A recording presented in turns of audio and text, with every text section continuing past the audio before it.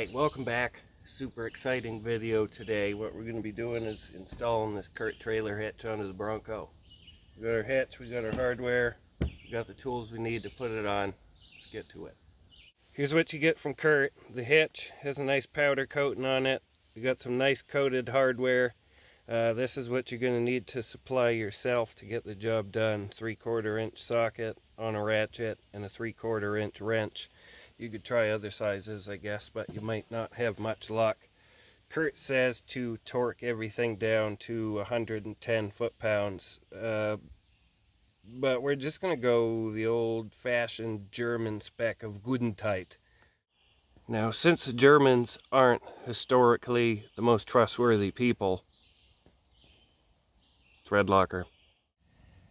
This is probably going to be a bit easier in my case because I don't have a big muffler right here. Um, but super easy install. The hitch is going to slide up and over this rear cross member and the four bolts you're going to run through these four holes with the nuts on the back side.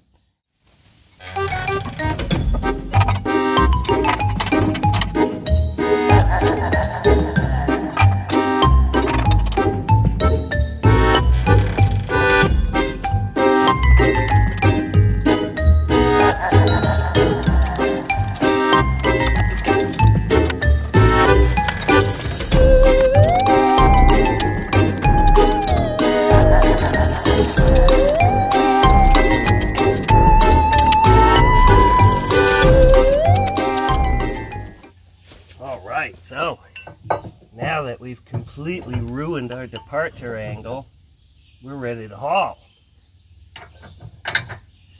Now, what you haul is up to you. But I suggest a trailer.